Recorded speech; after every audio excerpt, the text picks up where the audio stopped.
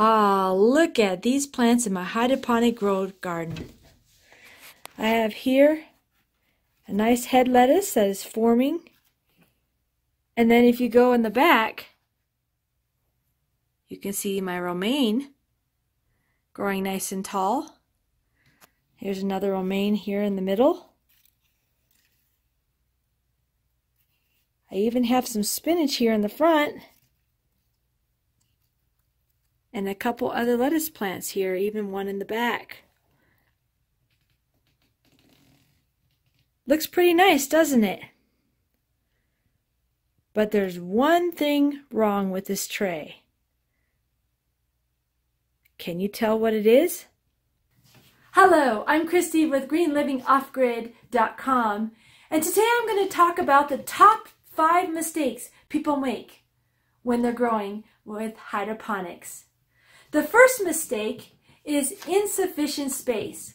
One advantage we have when we're growing hydroponically is the ability to be able to put more plants in a smaller footprint, a smaller space. Now, why does that happen? Well, unlike standard soil growing, hydroponics utilizes the ability to suspend roots in water with nutrients so that the plant doesn't have to expend so much of its effort growing the root base to be able to find enough water and nutrients. So, since the plants don't have to produce as many roots, the temptation is to pack more plants in your grow unit than you have enough space for the plant's green growth to develop. Such is the case with this grow tray. As you can see, I have it packed pretty full with lettuce and spinach. And in many cases, as in the one right here in the middle, that plant is not able to be able to get enough light because all the plants around it are crowding it out and not giving it enough space to be able to develop into a nice head of lettuce. The second mistake that people often make when they grow hydroponically is not providing enough light or not providing the right kind of light. This is often the case when you buy those little grow light strips. Many of those grow light, flexible grow light strips or little flexible grow light wands only produce around 6 to 10 watts of light. And most plants need a minimum of 32 watts of light per square foot of garden space.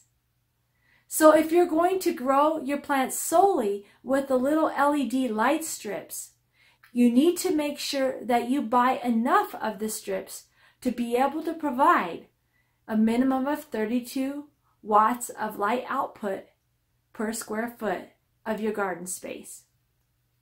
The third mistake people often make when they're growing hydroponically is growing at the wrong temperature range for the plants. Lettuce and spinach like a cooler temperature range, but a lot of your summer crops like squash or tomatoes require a much warmer temperature to be able to produce the fruit that you want to get off the plants.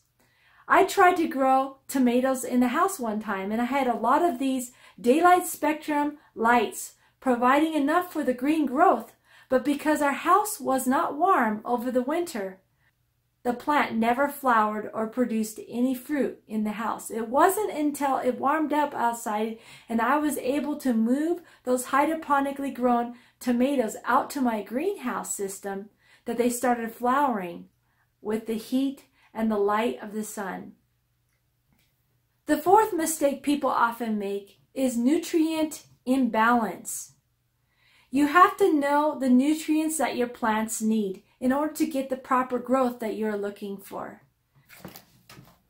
Tomatoes, for example, need a higher level of nitrogen when they're in the growth stage than when they're in the fruiting stage. I have here some tomato fertilizer. As you can see, the 4 stands for nitrogen, the 18 stands for phosphorus, and the 38 stands for potassium. When I use this fertilizer on my baby tomato plants, I have to add a calcium nitrate supplement like this.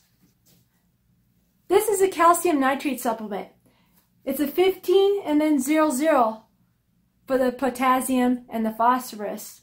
The 15 provides the added nitrogen and calcium that your baby plants need when you're using some of those formulas like the tomato formula I just showed you. When you add that 15 to the 4 on the tomato formula, it makes a 20 in that first number.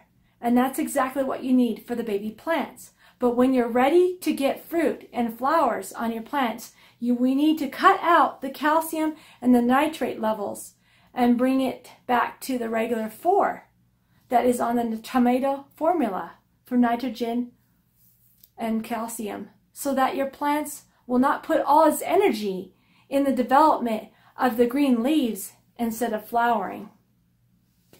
The fifth and final mistake that people often make when they're trying to grow plants with hydroponics is to use the wrong grow method for your plants. I have here lettuces and spinach in what is called a Kratky grow tub. Kratky is the method of suspending the roots of your plants in the water and nutrients without any added aeration. This works well with lettuces plants because they're small plants and they don't need as much aeration to be able to produce well. And basically as Kratky method works, the air that the plants get between the space of the net pot and the water level is all that these plants rely on for aeration. But that doesn't work so well with some of the bigger plants like tomatoes. They do better in a deep water culture setup where you have air stones and aerators agitating the water at all times.